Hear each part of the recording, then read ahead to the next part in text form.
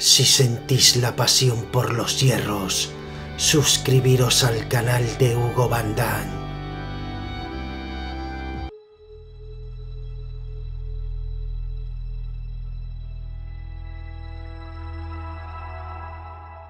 El legendario culturista Franco Columbo nos habla sobre el agua.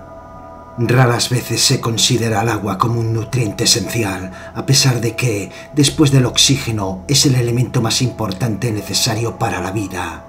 Aunque una persona sana puede vivir sin comer durante semanas, sin agua no podría sobrevivir más que unos pocos días. Más de las tres cuartas partes de nuestro cuerpo se componen de agua, lo que en el peso de un adulto medio representa más de 45 litros. Actúa como disolvente de todos los productos de la digestión y mantiene los alimentos, las vitaminas y los minerales en solución para que puedan pasar a través de las paredes del intestino a la corriente sanguínea para su utilización por todo el cuerpo. También transporta y separa todos los desechos, regula la temperatura del cuerpo y contribuye a evitar el estreñimiento. Los culturistas deben ser conscientes de que es esencial que nuestros sistemas corporales tengan suficiente cantidad de agua para mantener un adecuado equilibrio de electrolitos, tales como el potasio, sodio, magnesio y calcio. Cuando se disuelven en agua, estos minerales conducen las corrientes eléctricas a través del sistema nervioso hasta el cerebro y señalan la contracción de los músculos. La deshidratación puede afectar al equilibrio químico de los electrolitos, traduciéndose en debilitamiento de los músculos y en agotamiento. La mayor parte de adultos pierden aproximadamente algo más de 3 litros diarios de agua a través del sudor y de la excreción.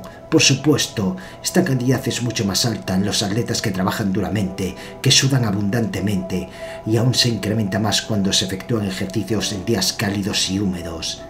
Ahí es donde muchos atletas sucumben exhaustos ante el calor, lo que se evidencia a través de dolores de cabeza, debilidad, rampas musculares, fuerte sudoración y piel pálida y viscosa. Cuando uno se deshidrata, también les ocurre lo mismo a las células, empeorando su capacidad de formar tejidos y de utilizar eficientemente la energía.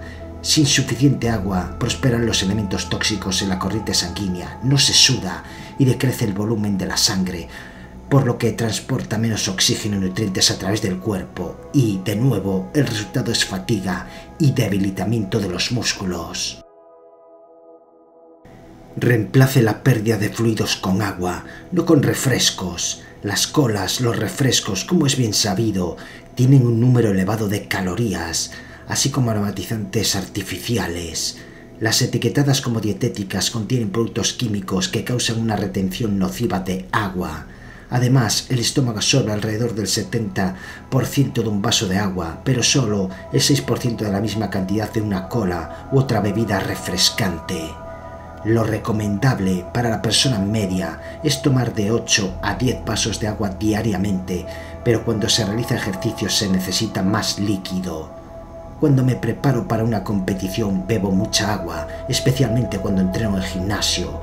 El consumo extra de vitaminas, de proteínas o de alcohol también requiere agua extra. Una información para aquellos que solo beben agua destilada a causa de su pureza. Durante el proceso de destilación del agua para matar todas las bacterias y otros contaminantes, también se eliminan todos los minerales.